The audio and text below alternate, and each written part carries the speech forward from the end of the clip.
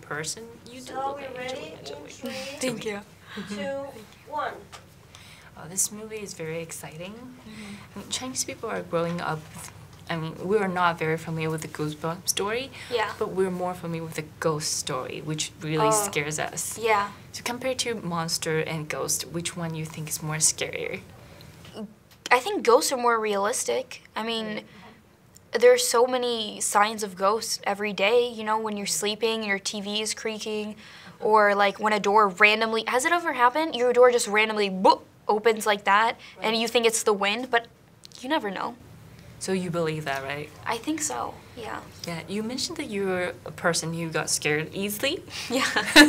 So That's true. What brought you into this project? Like, do you how how did you persuade yourself doing this? Well, it helped me get over my fears because when you watch something being filmed, it's like you know, you know, it's the fake blood. You know, it's all being rehearsed. You know, it's all being you know, you've you've seen it. So um, now when I watch scary movies, it, I think it's a little bit easier. But also, this type of scary is mixed with comedy, um, and it's mixed with adventure, and it's mixed with thriller, which is my favorite type of genre. So I think that's what made it fun for me. Yeah. Um, well, R. R. L. Stine, he's a very famous author. Yeah. Writing this, you know, children's book. Yeah. Mm, To see like Black, pers- you know, portray him. Yeah. In a very special way. I know his accent. yeah. and also like the way he acts and then very mean face. I know it's so different.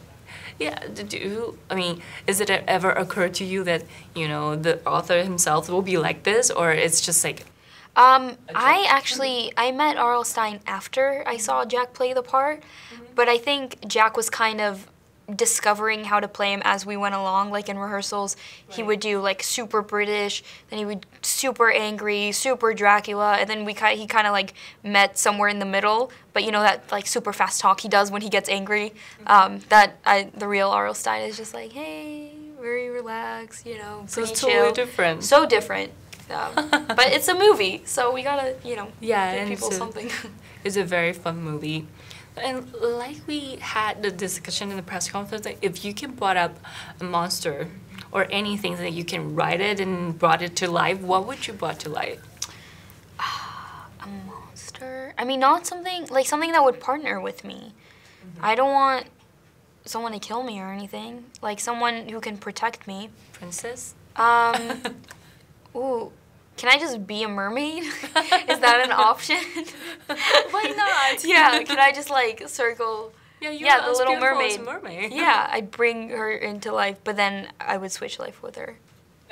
So, Yeah. yeah, to not answer your question, I would be a mermaid. You Yeah. are as beautiful as mermaid. Thank Perfect you. for that Thank role. you. And Thank you. The scariest part to make this film? Uh, the scariest part, it's not really scary doing a scary movie. Um, it's actually kind of funny because you're, to everyone else, it's like you watch me and I'm just screaming at a dot and there's nothing there because you know they put CGI, they do the visual effects later. So for everyone else, it's me. I'm talking to someone and I'm backing up and I'm just looking at a spot on the wall. So I think for for other people, it's really funny. It takes like very, I mean, your acting skill must be very good to do that. Yeah, I mean you. It's yeah, it's a Sorry. Yeah. Aw, okay. It's really short, but it's Thank you. It's a pleasure to talk to you. Thank you. You Thank too. you so much.